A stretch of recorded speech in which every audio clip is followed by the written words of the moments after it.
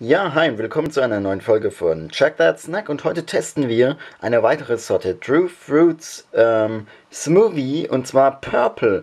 Hier ist drin Brombeere, Heidelbeere, Johannisbeere, Himbeere, Orange, Banane und Apfel. Ähm, ja, hier hinten stehen die Zutaten, die könnt ihr euch hier einmal anschauen. Dann ähm, hier ist drin ein gepresster Apfel, eine halb pürierte Banane, eine halbe gepresste Orange, 14 gemahlene Himbeeren, 19 gemahlene Heidelbeeren, 4 gemahlene Brombeeren, 22 gemahlene rote Johannisbeeren, 22 gemahlene schwarze Johannisbeeren. Ich finde diese Angabe immer so genial. 19 gemahlene Heidelbeeren. Warum 19 noch nicht 20? Was weiß ich, hier steht irgendwas auf Englisch. Ähm, der Purple. Ah, dann nee, das ist so ein Anti-Englisch, ne? I'm smooth and no one can reach me in the water. You have to empty me in one train. Look Look me not so strange on.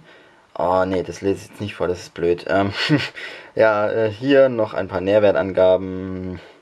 Ach, was soll's. Machen wir es einfach auf. Einmal schütteln. Ähm, aufmachen.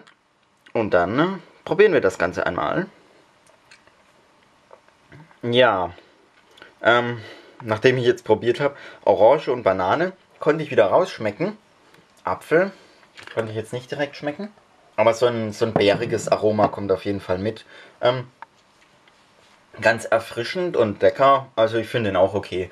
Ähm, der geht auf jeden Fall in Ordnung. Und aus dem Grund gibt es selbstverständlich ein Plus.